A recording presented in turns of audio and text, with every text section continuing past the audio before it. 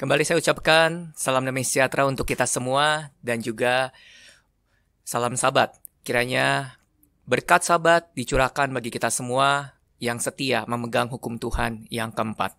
Saudara, pada ibadah sabat kali ini kita akan bersama-sama merenungkan firman Tuhan dengan satu judul Ketika Yerusalem Runtuh. Di dalam nama Tuhan Yesus Kristus menyampaikan kesaksian firman Tuhan. Saudaraku yang terkasih dalam Tuhan, tidak terasa kita sudah memasuki bulan Juli. Artinya sudah setengah tahun, di tahun 2020 ini kita sudah lalui, saudara. Kalau kita kembali melihat ke belakang, kembali kita mengingat-ingat kejadian di masa yang kemarin, saudara. Di mana di awal Januari, uh, saya masih ingat waktu di Jakarta terjadi banjir besar. Ya, awal tahun kita sudah punya satu kenangan di mana hujan mengguyur ibu kota Jakarta, saudara.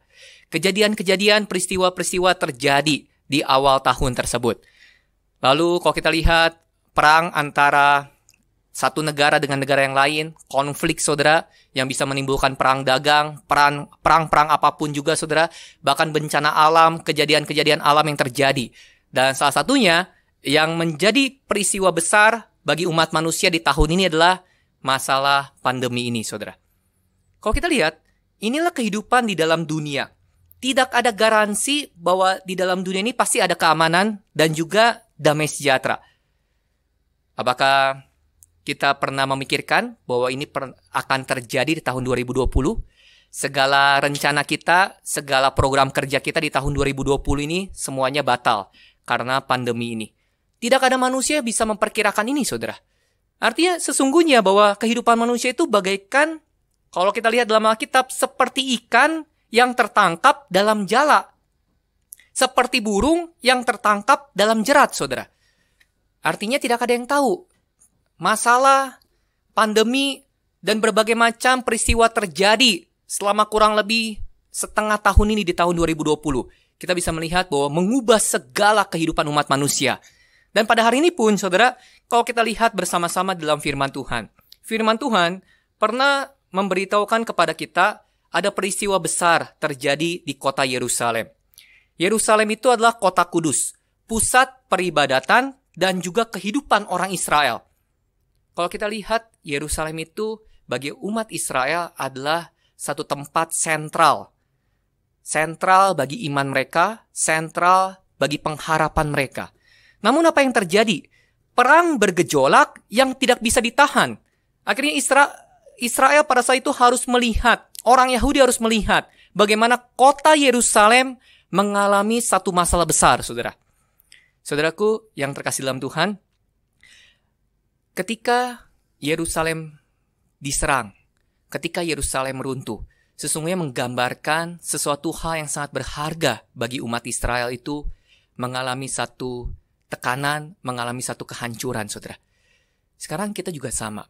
Kalau kita kembali merenungkan di dalam kehidupan kita pada saat ini. Dengan pandemi ini, sesungguhnya apa yang berharga dalam hidup kita sedang diserang, saudara. Kesehatan kita diserang. Kehidupan keluarga kita pun juga diserang.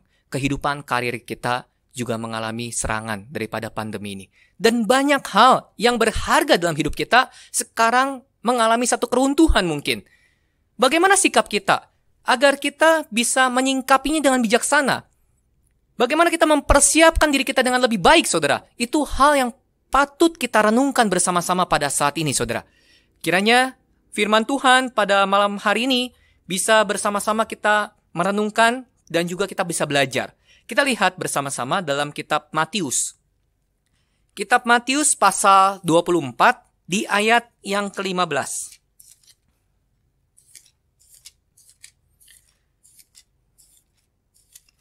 Kitab Matius pasal 24 di ayat yang ke-15. Demikianlah firman Tuhan.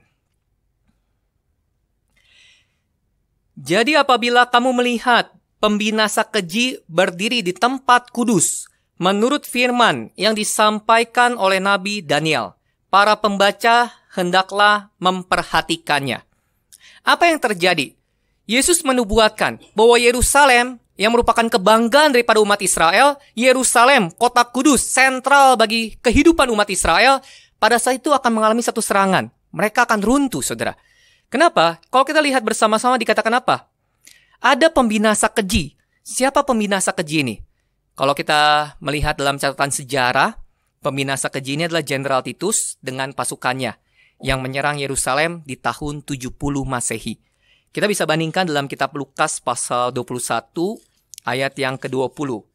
Dikatakan Lukas pasal 21 ayat yang ke-20, Apabila kamu melihat Yerusalem dikepung oleh tentara-tentara, ketahuilah bahwa keruntuhannya sudah dekat. Jadi, pada saat itu Jenderal Titus dengan pasukan-pasukannya mengepung kota Yerusalem. Dan keruntuhannya sudah dekat. Sehingga firman Tuhan dengan satu tanda seru yang sangat jelas memberitahukan peringatan kepada kita para pembaca hendaklah memperhatikannya. Saudaraku yang terkasih dalam Tuhan, para pembaca hendaklah memperhatikannya. Artinya, firman Tuhan memberikan dorongan bagi orang pada masa itu dan juga bagi kita pada saat ini. Pada masa itu supaya mereka bisa memperhatikan bahwa Yerusalem yang mereka bangga-banggakan akan mengalami sebuah keruntuhan. Dalam kehidupan kita pada saat ini pun juga sama. Sesuatu hal yang berharga dalam kehidupan kita pun juga kita mengalami suatu keruntuhan karena pandemi ini. Bagaimana kita memiliki satu reaksi yang positif, reaksi yang baik dan bijaksana, saudara. Pada saat Yerusalem kita sedang dikepung oleh musuh dan mengalami sebuah keruntuhan. Kita lihat firman Tuhan pada hari ini. Di dalam kitab Matius pasal 24 di ayat yang ke-16. Bagaimana sikap kita? Bagaimana uh, cara kita menanggulangi agar kita bisa melewati Uh, keruntuhan tersebut. Kita lihat bersama-sama. Matius pasal 24 di ayat yang ke-16. Maka orang-orang yang di Yudea haruslah melarikan diri ke pegunungan. Nasihat firman Tuhan yang pertama yang diberikan Yesus kepada orang-orang pada saat itu, para pembaca dan juga kepada kita pada saat ini, saudara. Orang-orang yang di Yudea haruslah melarikan diri ke pegunungan. Kenapa saudara? Nasihat yang pertama ini adalah melarikan diri ke pegunungan. Kita bertanya, kenapa harus melarikan diri ke pegunungan? Karena pada masa itu, pada saat kota diserang, musuh telah mengepung, mereka tidak boleh lari ke dalam kota. Karena kota sudah dikepung oleh musuh. Tapi kita harus lari ke pegunungan. Kondisi geografis tanah Israel sering kali kalau kita lihat uh, berbukit-bukit, bergunung-gunung. Pada saat ada angin besar, angin yang bisa membuat orang itu akhirnya terhempas atau orang itu bisa kena angin dengan pasir, saudara, biasanya orang itu akan berlindung ke batu yang besar, bukit, dan gunung yang besar. Pada saat kota itu diserang, saudara, jangan ke kota. Benar gak? Tapi harus lari ke pegunungan. Karena bila dia lari ke kota, dia akan mati. Jenderal Titus dengan pasukannya berada di dalam kota Yerusalem. Nah, saudaraku, kota-kota perlindungan, kalau kita lihat dalam kitab Yosua pasal 20 ayat yang ketujuh, itu juga menggambarkan sebuah kota yang bisa kita menyelamatkan diri. Orang-orang yang berbuat kesalahan yang tidak disengaja, orang-orang yang berbuat dosa yang tidak dikehendakinya dan tidak direncanakan, dia bisa lari, berlindung dalam kota perlindungan yang sudah ditempatkan oleh Yosua sesuai dengan perintah Tuhan sehingga orang-orang tersebut bisa terselamatkan dari penuntut tebusan darah. Sama hal dalam kehidupan kita pada saat ini, saudara ya. Bila kita lihat negara dan wilayah yang zona merah, banyak sekali virus coronanya, tidak mungkin kita akan masuk dalam negara dan wilayah itu karena zona merah. Kenapa? Karena berbahaya dan kita mencobai Tuhan. Jangan-jangan itu akan menyerang kita dan akhirnya kita lumpuh, saudara, karena virus tersebut. Sama halnya dalam kehidupan kita pada saat ini, saudara kita harus lari ke pegunungan. Kita harus berlindung, saudara. Kalau kita lihat dalam Alkitab, hewan pelanduk, bangsa yang lemah, itu berlindung. Di rumahnya itu di Bukit Batu, saudara ya. Pelanduk ini berlindung di, di Bukit Batu. Pelanduk ini adalah binatang yang tidak kuat seperti singa yang punya rahang yang kuat. Pelanduk itu tidak punya cakar seperti beruang yang bisa melindungi diri. Bangsa yang lemah, binatang yang lemah, tapi binatang yang bijaksana pada saat musuh datang, dia bisa berlindung di bukit batu. Sehingga pada saat binatang buas itu menyerang, dia tetap bisa diselamatkan. Pada hari ini, saudaraku yang terkasih Tuhan, uh, mari kita lihat dalam Alkitab. Seringkali Alkitab memberitahukan, pada saat ada masalah, pada saat ada satu serangan, larilah ke pegunungan. Kita kembali mengingat peristiwa Lot. Pada saat malaikat Tuhan memberikan satu perintah kepada Lot dan keluarganya. Karena kota Sodom dan Gomora akan dibinasakan oleh api belerang dari langit. Lot disuruh lari ke mana, saudara? Larilah ke pegunungan. Selamatkanlah dirimu. Nah, apa artinya pegunungan sesungguhnya? Apa artinya bukit, batu? Kita kembali melihat di dalam Alkitab. Kalau kita lihat dalam kitab Mazmur, mari kita lihat bersama-sama. Mazmur pasal 62 ayat yang ke-8. Kitab Mazmur pasal 62 ayat yang ke-8. Demikianlah firman Tuhan. Pada Allah ada keselamatanku dan kemuliaanku. Gunung batu kekuatanku, tempat perlindunganku, ialah Allah. Artinya, gunung batu, tempat perlindungan, itu adalah Allah. Bukit batu itu adalah Allah, saudara.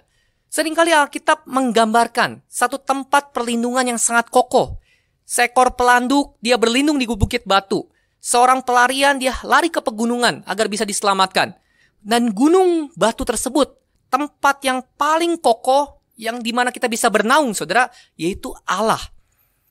Pada hari ini, saudaraku yang terkasih dalam Tuhan, di saat kita mengalami situasi yang sulit, di saat kita mengalami sebuah pergumulan, di mana kita berlari, itu akan menentukan hasil akhirnya nanti, saudara. Itu akan menentukan iman kita. Itu akan menentukan masa depan kita, saudara. Di saat kita melihat, saudara, wilayah ini zona merah. Kota ini zona merah. Ya guys, saudara. Dulu mungkin kita tidak terpikirkan ya. Bulan Desember, virus itu menyerang negara China. Mungkin kita tidak terpikirkan apakah masuk ke Indonesia, sepertinya tidak. Apakah masuk ke kota saya yang kecil? Uh, sepertinya juga tidak. Tapi akhirnya menjadi satu pandemi besar bagi negara-negara di dunia. Saudaraku, ke mana kita lari pada saat ini? Kita sudah berjalan berbulan-bulan. Ke mana wajah kita kita hadapkan? Apakah kita lari ke pegunungan? Arti kita cari Tuhan. Kita menghadap Tuhan. Seperti Lot dia lari ke pegunungan dan dia selamat. Kalau kita lihat seperti kota perlindungan. Dia lari ke kota perlindungan itu dan dia akhirnya selamat dari penuntut tebusan darah. Pada hari ini ke mana kita lari? Apakah kita lari kepada dunia entertain? Artinya kita cari hiburan, kita lari kepada dunia, saudara. Kita lari kepada yang lain, saudara. Pada hari ini mari bersama-sama kita renungkan, saudara. Ke mana kita lari? Ke tempat mana kita tuju? Wajah kita ke mana kita arahkan? Kalau kita lihat dalam firman Tuhan, carilah tempat perlindungan yaitu Tuhan. Dengan cara bagaimana saya cari Tuhan? Tuhan itu roh dan kebenaran, tidak terlihat dengan mata jasmani. Saudaraku, Mari bersama-sama. Pada malam hari ini, saudara yang terkasih, beribadah online sesungguhnya saya percaya kita semua mencari Tuhan. Kita semua menghadapkan wajah kita pada Tuhan, saudara. Kita mau cari Tuhan dalam situasi yang seperti ini. Kita mau membangun hubungan kepada Tuhan, bagaikan membangun mesbah. Kalau kita perhatikan tokoh-tokoh perjanjian lama, dari Nuh, Abraham, Ishak dan Yakub. Mereka membangun sebuah mesbah. Batu dengan batu ditumpuk menjadi satu dan di atas ada korban persembahan. Belum ada gereja pada saat itu. Namun mereka mencari Tuhan karena mereka tahu bahwa Tuhan akan menerima persembahan mereka. Tuhan itu adalah roh dan kebenaran. Tuhan itu melingkupi rohnya di alam semesta ini. Kita harus cari Tuhan. Bangun mesbah keluarga. Saudara, apakah selama pandemi ini kita membangun mesbah keluarga? Kita mencari Tuhan seisi keluarga bersama-sama bertekun, bergiat, kita menghadapkan wajahnya, wajah kita kepada Tuhan. Saudaraku, itu satu hal yang sangat penting sekali. Sehingga pada saat kita mengalami satu situasi yang sulit, kita mendapatkan satu damai sejahtera, kita mendapatkan satu kekuatan, dan kita bisa melihat pelangi kasih Tuhan. Kita bisa melihat bahwa di balik masalah ini ada satu kasih karunia, ada satu kehendak Tuhan, saudara. Kalau kita membangun hubungan dengan Tuhan. Tapi sebaliknya pada saat kita tidak bisa membangun hubungan dengan Tuhan, sepertinya akan sangat sulit, saudara. Kalau kita lihat, saudara, Gunung batu sering kali juga dilambangkan adalah sebuah gereja. Dalam kitab Yesaya pasal yang kedua. Gereja adalah gunung batu. Pada hari ini, gereja secara fisik kita tidak bisa datang karena pandemi yang menghalangi kita. Namun kalau kita kembali melihat dengan lebih dalam lagi, apa arti gereja? Gereja adalah eklesia, orang-orang yang dipanggil keluar dari kegelapan menuju terangnya yang ajaib. Artinya gereja itu adalah diri kita. Bait roh kudus, kumpulan orang-orang percaya. Pada saat kumpulan orang-orang percaya itu bisa bersekutu, bisa membangun mesbah keluarga, dan beribadah, saudara, sesungguhnya itulah gereja. Dan itulah di mana kita bisa mencari Tuhan, saudara. Tuhan hadir di tengah-tengah kita. Saudara, jangan berkecil hati karena kita tidak bisa datang ke gereja secara fisik. Namun kita harus menyadari bahwa kita adalah gereja. Kita harus tetap kuat di dalam Tuhan. Inilah yang harus kita lakukan. Kalau kita lihat, gereja memfasilitasi mesbah keluarga. Dari bahan, dorongan demi dorongan, saudara. Kenapa? Karena pada saat keluarga itu kuat, maka gereja akan kuat. Pada saat keluarga itu kuat, bangsa akan kuat, saudara. Dari komunitas yang kecil kuat, maka akan mempengaruhi komunitas yang besar. Pada hari ini, saudaraku yang resen Tuhan, mari bersama-sama kita renungkan. Di saat Yerusalem itu runtuh, dikepung oleh musuh, ke mana kita harus pergi? Carilah Tuhan, saudara. Bangun sebuah hubungan dengan Tuhan dengan baik. Kita adalah gereja secara rohani, bait roh kudus. Bangunlah mesbah keluarga. Bangunlah hubungan dengan lebih dekat lagi, saudara. Sehingga pada saat pandemi ini, sesungguhnya kita mendapatkan satu visi rohani dalam kehidupan kita. Kita bisa melihat bahwa di balik pandemi ada satu rencana agung Tuhan yang sangat indah yang Tuhan izinkan terjadi bagi seluruh umat manusia. Kita lihat yang kedua. Kita buka dalam kitab Matius pasal 24 ayat 17 sampai dengan ayat yang ke-18. Kitab Matius pasal 24 kita beri tanda saudara karena kita akan kembali terus dalam kitab Matius ini.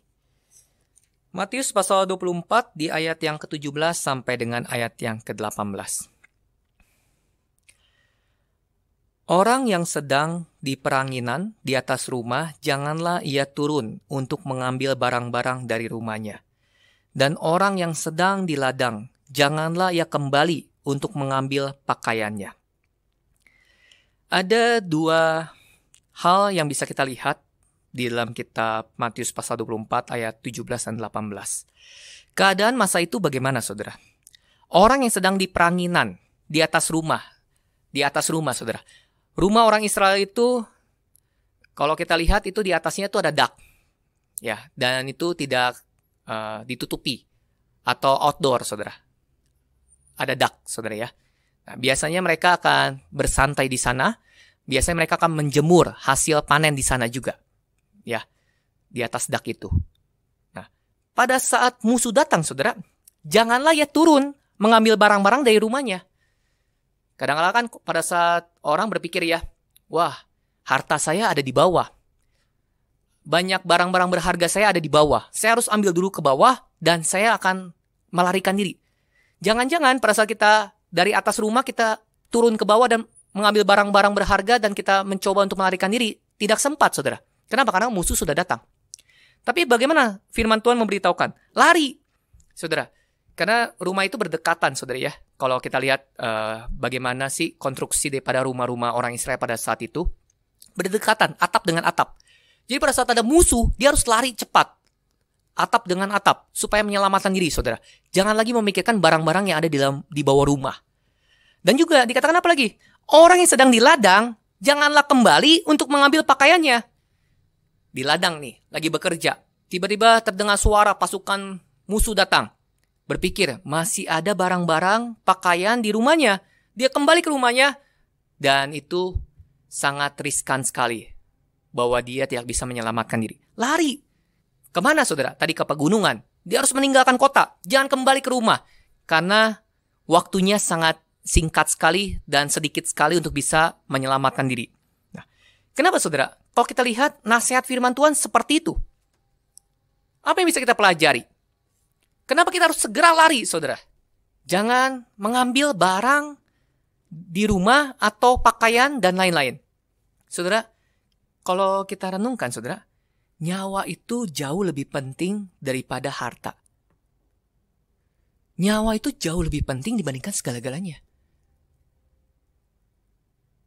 Sesungguhnya firman Tuhan memberikan satu dorongan seperti itu. Janganlah turun mengambil barang-barang dari rumah. Ingatlah akan istri Lot. Kalau kita perhatikan bersama-sama pada saat ini. Istri Lot sesungguhnya pada saat dia berlari, dia menoreh, menoleh ke belakang, melihat ke belakang, sehingga menjadi, dia menjadi tiang garam. Kenapa dia menoleh ke belakang? Karena dia terpikirkan barang-barang, harta dia, apa yang selama ini sudah dia kumpulkan, apa yang selama ini sudah dia kejar, saudara, dia dapati. Itu semua hangus dengan api belerang dari langit. Tapi dia tidak bisa meninggalkan itu. Dia melihat ke belakang dan jadilah tiang garam.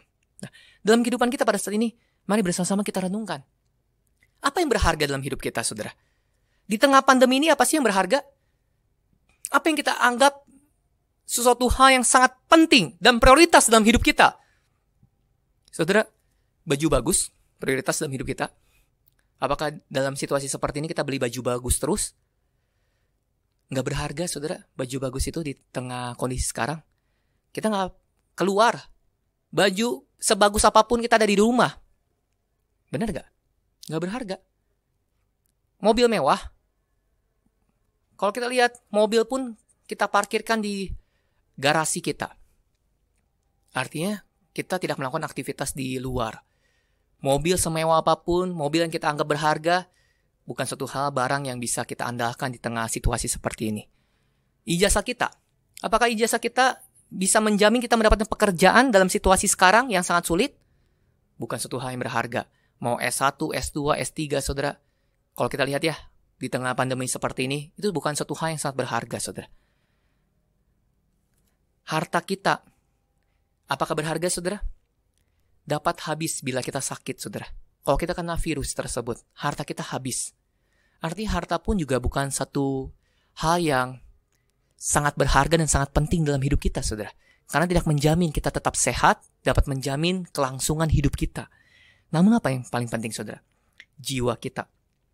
Jiwa kita jauh lebih penting karena menyangkut kehidupan kekal, saudara. Pernah gak kita renungkan? jiwa kita itu sangat penting. Ya. Saudaraku yang terkasih dalam Tuhan, saya pernah satu kejadian di Pulau Bangka, saudara. Di tahun 2016, Pulau Bangka pernah terjadi satu banjir besar. Ya. Di mana pada saat banjir itu hari pertama tahun baru Imlek, saudara. Ya. Kami dengan beberapa jemaat pada saat itu punya satu kesempatan menolong jemaat yang sedang kebanjiran. Ya. Pada saat kami menolong saudara, kami melihat bahwa air itu dari selutut naik ke pinggang, pinggang terus naik saudara. Dan apa yang terjadi? Yang terjadi tuan rumah pada saat itu masih khawatir akan barang-barangnya. Kalau kita jadi dia pun mungkin kita juga khawatir. Barang-barang kita bagaimana? Semuanya habis. Air semakin meninggi. Tapi akhirnya satu hal yang bisa kami ambil dan puji Tuhan, Tuhan membukakan pemikiran kami dan Tuhan menyelamatkan kami. Kita harus kabur, kita harus keluar dari rumah ini. Biarkanlah barang-barang itu. Kenapa? Karena nyawa ibu, nyawa kita semua adalah satu hal yang paling penting dibandingkan barang-barang ini. Barang bisa dicari, nyawa tidak bisa dicari. Kita harus keluar, segera keluar. Yang tidak bisa diselamatkan kita relakan. Tapi yang paling penting, nyawa kita bisa kita selamatkan. Nah, pada hari ini saudaraku yang terkasih dalam Tuhan, Alkitab memberitahukan, prioritas yang paling penting dalam hidup kita apa? Apa gunanya seorang memperoleh seluruh dunia, tetapi kehilangan nyawanya? Dan apakah yang dapat diberikannya sebagai ganti nyawanya? Seluruh isi dunia ini tidak bisa ditukar dengan nyawa. Artinya apa? Nyawa ini jauh lebih berharga dibandingkan seluruh isi di dalam dunia ini. Saudaraku yang dikasih oleh Yesus Kristus, pada hari ini, di tengah pandemi ini, kita mau bersama-sama melihat prioritas yang paling penting dalam hidup kita. Apa saudara? Kesehatan adalah suatu hal yang penting. Tapi ada jauh lagi yang lebih penting, adalah masalah jiwa kita. Karena jiwa ini menyangkut kehidupan kekal. Kekal di dalam neraka atau kekal di dalam kerajaan sorga. Sayangilah jiwa kita. Ya, kita harus bersama-sama pada hari ini mementingkan kehidupan manusia uh, batinia kita, ke, kehidupan rohani kita, jiwa kita. Ya. Apakah kita merenungkan, saudara, bahwa dunia akan kita lepas. Semua yang kita dapati di dalam dunia ini bagaikan pasir, kita genggam, semakin kita genggam, itu akan semakin keluar di dalam tangan kita. Tapi keselamatan itu yang harus kita genggam pada saat ini, saudara. Kepastian keselamatan jiwa kita. Kepastian jiwa kita diselamatkan masuk dalam kerajaan sorga. Kepastian kita terus menumbuhkan kerohanian manusia batinia kita. Itu yang harus kita kejar pada saat ini, saudara. Karena tadi saya katakan, semua itu di tengah pandemi menjadi satu hal yang tidak berharga. Dulu kita anggap harta itu satu hal yang paling berharga, ternyata harga itu juga tidak bisa menjamin kesehatan mobil, uh, baju bagus dan lain-lain, saudara, itu bukan suatu hal yang penting sekarang. Tapi yang paling penting adalah jiwa kita yang harus kita pikirkan. Firman Tuhan katakan, pada hari kemurkaan, harta tidak berguna. Ya. Oleh karena itu, Yesus memberikan nasihat, janganlah turun mengambil barang-barang dari rumah. Prioritaskanlah yang terpenting dalam hidup kita. Kejar itu, pertahankan itu, itu yang paling penting. Jangan pikirkan yang lain. Kita lihat yang ketiga.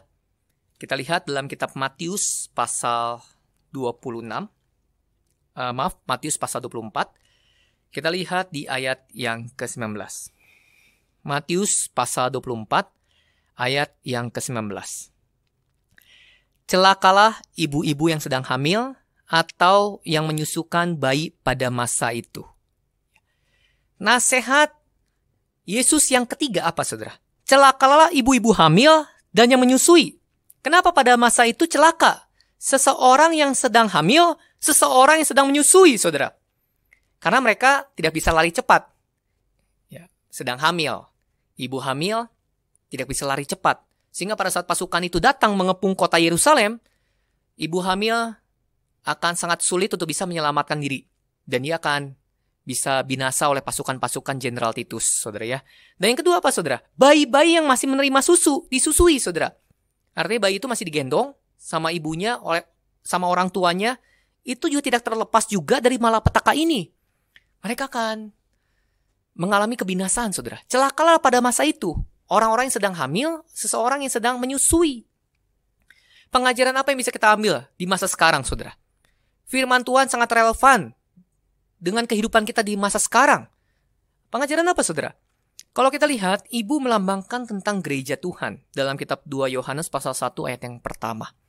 Ibu itu adalah melambangkan gereja.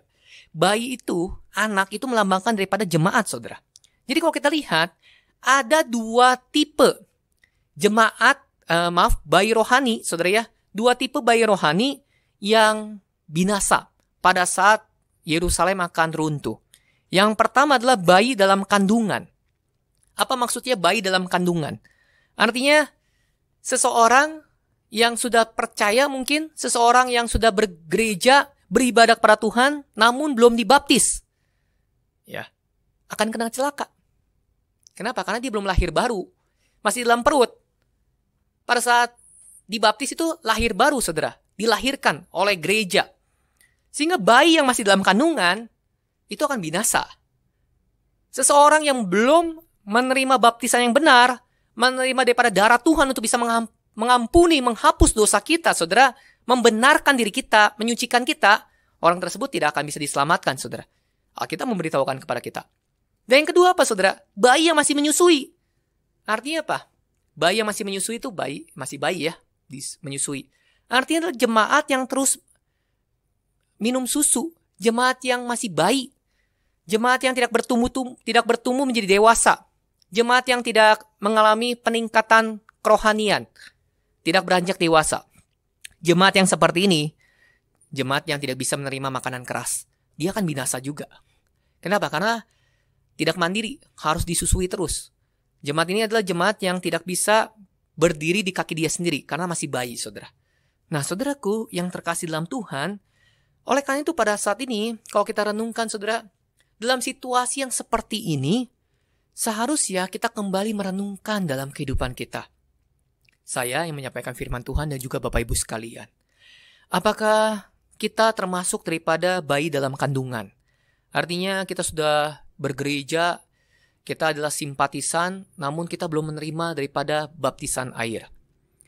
Kita sudah tahu bahwa baptisan itu satu hal yang sangat penting, namun kita belum memberi diri dibaptis, saudara. Kita masih dalam kandungan, belum lahir baru. Nah, hendaklah kita segera terima Tuhan Yesus. Bertobatlah. Berilah diri untuk bisa menerima katekisasi secara online, saudara, di masa situasi sekarang ini. Selagi masih ada kesempatan, saudara. Karena kadang-kadang kita tidak tahu kehidupan kita, bagaikan burung yang terjerat, bagaikan ikan yang tertangkap dalam jala, saudara. Tidak ada yang tahu hari esok. Tidak ada kedamaian, tidak ada kepastian di dalam dunia ini. Ya. Seperti yang kita alami di zaman sekarang, di masa sekarang. Ya. Saudara, segeralah selagi masih ada kesempatan belajar firman, ikut katekisasi secara online, dan berilah diri dibaptis, saudara, dengan baptis yang benar, agar kalian menjadi manusia baru lahir. Yang kedua, jemaat yang masih bayi perlu segera bertumbuh. Jangan terus uh, minum susu, jangan terus uh, selalu menunggu, saudara ya. Tidak berbuat sesuatu, tidak berjuang untuk bisa meningkatkan kerohaniannya. Uh, pada saat uh, ada yang khotbah, baru dia uh, bisa bertumbuh. Tapi pada saat tidak ada khotbah, dia sulit untuk bisa bertumbuh. Pada saat tidak ada ibadah tatap muka, dia sangat sulit untuk bisa bertumbuh, saudara. Itu artinya bayi yang masih roh, bayi rohani, bayi rohani ini, saudara. Artinya tidak mandiri, tidak bisa mencari sumber makanan lain, tidak bisa berjuang, saudara, untuk bisa memenuhi makanannya sendiri. Kalau kita lihat bayi, apakah bayi bisa mencari makan sendiri, memasak sendiri, memenuhi kebutuhannya sendiri, saudara? Tidak bisa. Nah, marilah di tengah situasi sekarang, saudara, kita nggak bisa ibadah secara langsung. Kita tidak bisa punya kegiatan-kegiatan yang sangat mudah kita lakukan sebelum pandemi, saudara ya. Datang ke gereja, ada PA dan lain-lain. Namun sesungguhnya gereja sudah menyediakan semuanya itu. Makanan rohani dalam platform YouTube, saudara ya. Lalu website kita, produk-produk bacaan buku yang telah disediakan oleh majelis pusat, saudara Marilah bersama-sama, di saat kita lihat ibadah online sepertinya saya masih kurang. Saya harus cari makanan rohani yang lain. Saya harus dengarkan uh, khotbah di YouTube. Cari suplemen rohani di dalam buku-buku. Saya harus juga cari makanan-makanan rohani di website dan lain-lain, saudara. Jangan pada saat kita merasa tidak dilayani, kita akhirnya tidak bisa bertumbuh. Ingat, saudara, situasi kita sekarang sulit. Situasi kita sekarang berbeda. Kita harus segera bertumbuh, saudara. Jangan terus menjadi bayi-bayi rohani, jemaat-jemaat yang terus uh, tidak bisa berdiri di dalam kaki dia sendiri. Imannya tidak bisa bertumbuh secara vertikal, saudara. Dia harus terpengaruh sama uh, sesamanya manusia, horizontal, ya lingkungan. Dipengaruhi oleh lingkungan, dipengaruhi oleh orang-orang lain. Sesungguhnya di tengah situasi seperti ini sangat sangat sangat sulit sekali untuk bisa bertumbuh. Saudaraku yang terkasih dalam Tuhan, Nasihat firman Tuhan yang ketiga ini kita bisa belajar agar kita jangan menjadi uh, seseorang yang belum lahir baru dan seseorang yang masih baik secara rohani. Ya, kiranya kita terus bertumbuh, bertumbuh dan bertumbuh. Terus berjuang, berjuang. Kita terus berdiri di kaki kita untuk bisa bertumbuh serupa dan segambar dengan Tuhan. Kita lihat yang terakhir, Saudara. Kita buka di dalam kitab Matius pasal 24 ayat yang ke-20.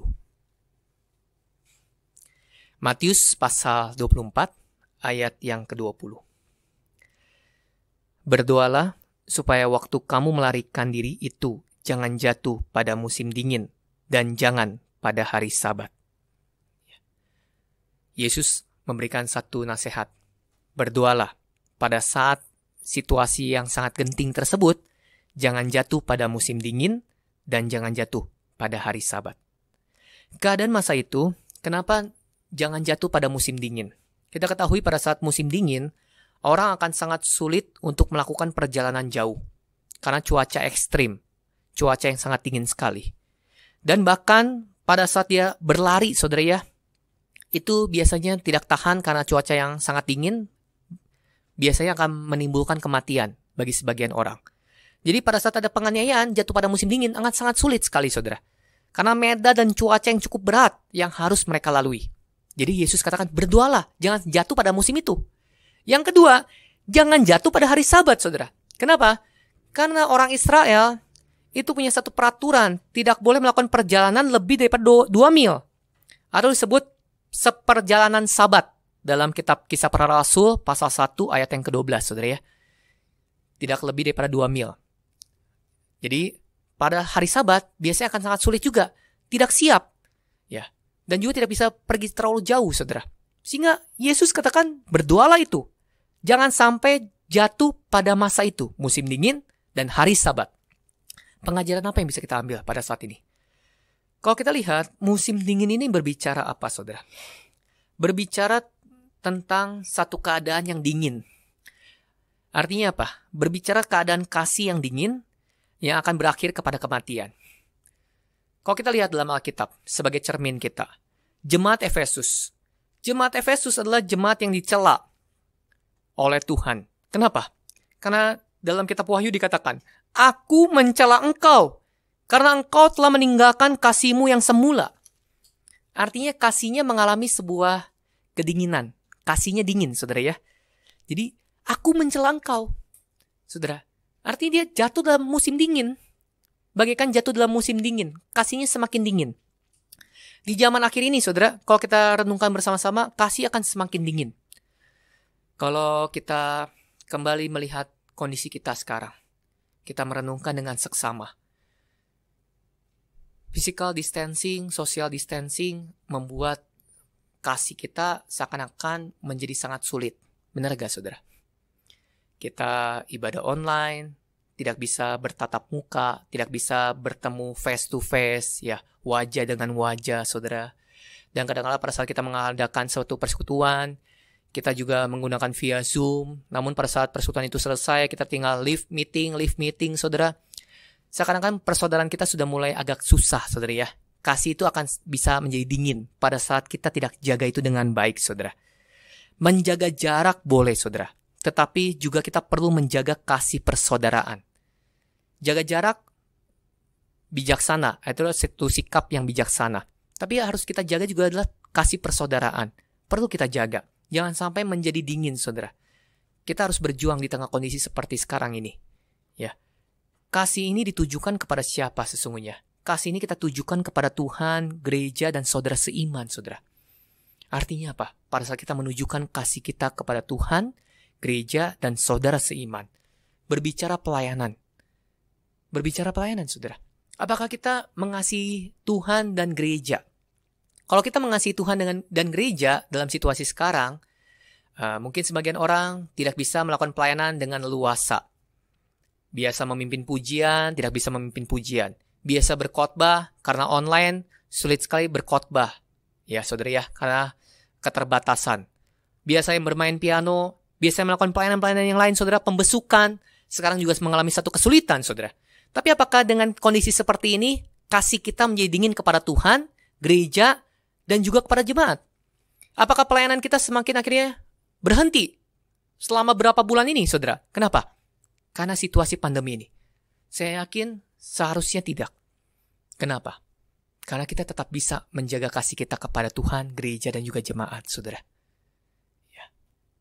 Kita bisa menghubungi jemaat, pembesukan secara online, kita bisa WhatsApp, telepon dia, tanyakan kabarnya bagaimana, saudara. Kita bisa mendoakan mereka, saudara, yang membutuhkan bantuan kita. Membutuhkan bantuan doa-doa, saudara. Kita juga bisa melayani Tuhan sekarang dengan berbagai macam cara, saudara. Baik sebagai editing, saudara. Baik kita juga mengirim rekaman suara. Ya, melayani dengan mengirim rekaman suara pada saat kita berkhotbah mungkin, saudara ya. Atau juga kita juga bisa melakukan pelayanan-pelayanan yang lain, saudara. Jadi, sesungguhnya pelayanan ini tetap bisa kita jaga.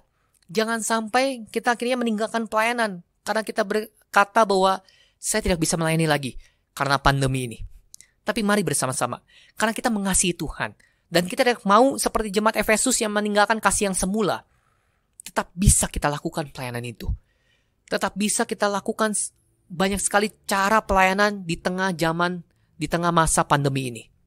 Ya, saya bersyukur saudara, uh, banyak sekali saudara seiman akhirnya beralih, mulai belajar bagaimana menggunakan teknologi untuk bisa melayani Tuhan. Kenapa mereka bisa belajar seperti itu? Karena mereka menyadari bahwa mereka harus berubah. Mereka karena ingin melayani Tuhan, mengasihi Tuhan, mereka belajar teknologi, dan akhirnya mereka bisa melakukan pelayanan kepada Tuhan. Bagi yang tidak bisa teknologi, jangan berkecil hati. Kita tetap bisa melakukan pelayanan. Yang tadi saya katakan, pembesukan online. Kita bisa juga menulis renungan. Kita juga bisa melakukan banyak hal, saudara. Pelayanan demi pelayanan. Kalau disebutkan, banyak bisa kita lakukan di tengah masa situasi seperti ini. Jangan jatuh pada musim dingin. Artinya pada saat uh, Yerusalem runtuh, kehidupan kita runtuh, saudara, kasih kita kepada Tuhan sedang runtuh juga, jatuh kepada musim dingin. Kita lihat yang kedua dikatakan apa? Hari Sabat. Hari Sabat ini adalah hari perhentian. Hari Sabat ini adalah hari di mana hari berhenti daripada setiap pekerjaan. Jadi tidak ada kesempatan lagi untuk bertobat, saudara. Waktunya sudah berhenti. Tidak ada lagi waktu. Nah, artinya pada saat situasi seperti itu, saudara, jangan sampai orang itu jatuh pada hari sabat. Tidak ada waktu lagi, saudara. Tidak ada waktu dibaptis, tidak ada waktu untuk dapat roh kudus, tidak ada waktu untuk bisa memperbaiki kesalahan kita, tidak ada waktu untuk bisa menumbuhkan iman kerohanian kita, saudara. Kenapa? Karena tadi serangan musuh. Dan sekarang kita lihat dengan di tengah kondisi sekarang, mungkin ada orang yang bisa kena virus tersebut. Dan pada saat dia terkena virus tersebut, mungkin tidak ada waktu lagi untuk bisa memperbaiki dirinya dengan lebih baik lagi. Oleh karena itu, pada hari ini, hari sabat ini berbicara apa? Hari sabat ini berbicara tentang mengenai ibadah. Ya, selagi masih ada waktu, selagi masih ada kesempatan, beribadahlah kepada Tuhan. Hari ini kita bisa beribadah sabat. Apakah Sabtu depan kita tetap bisa beribadah sabat? Tidak ada yang bisa menjawab pertanyaan itu. Tidak ada yang bisa menjamin bahwa Sabtu depan kita tetap bisa beribadah sabat. Benar gak, saudara? Karena belum tentu ada kesempatan kita bisa beribadah. Ya. Jangan meninggalkan ibadah kita. Baik secara online, dan nanti kita akan menghadapi juga ibadah secara on-site atau offline, saudara. Tatap muka. Jangan pernah meninggalkan ibadah kita selagi masih ada waktu kesempatan. Ya. Beribadalah kepada Tuhan. Gunakanlah kesempatan itu dengan baik supaya kita semakin siap menghadapi ketika Yerusalem itu runtuh, Saudara. Pada saat kita melakukan pelayanan, pada saat kita melakukan ibadah, Saudara, sesungguhnya kita akan selamat dari kepungan daripada musuh dan kehancuran daripada kota Yerusalem. Nah, saudaraku, ketika Yerusalem runtuh, artinya apa? ketika suatu hal yang berharga dalam hidup kita ini diserang dan akhirnya uh, tidak lagi bisa kita pertahankan, saudara, kita harus mempersiapkan diri kita dengan baik. Kita harus uh, berjaga-jaga. Bagaimana, saudara? Yang pertama, larilah, carilah Tuhan. Yang kedua, selamatkanlah hal yang terpenting dalam hidup kita, yaitu jiwa kita. Prioritaskanlah itu. Daya upayakan itu untuk bisa menyelamatkan jiwa kita keselamatan jiwa itu jauh lebih penting dibandingkan yang lain. Yang ketiga, jangan belum lahir baru dan terus menjadi bayi rohani. Bertumbuhlah terus, saudara. Jangan terus menjadi bayi rohani, jemaat yang masih bayi. Tapi jadilah jemaat-jemaat yang dewasa, yang bisa membedakan mana yang benar, mana yang salah, yang bisa memiliki panca indera yang terlatih. Dan yang terakhir, mengasihi Tuhan melalui pelayanan dan setia beribadah. Dalam situasi sekarang, kita percaya itu semua akan kita lakukan. Pada saat kita lakukan, saudara, maka Yesus katakan, kamu akan terlepas dan selamat dari kepungan Jenderal Titus dan pasukannya yang menghancurkan kota Yerusalem. Kita akan selamat masuk dalam kerajaan sorga. Kiranya firman Tuhan bisa memberkati kita semua dan juga bisa menumbuhkan iman kerohanian kita. Amin.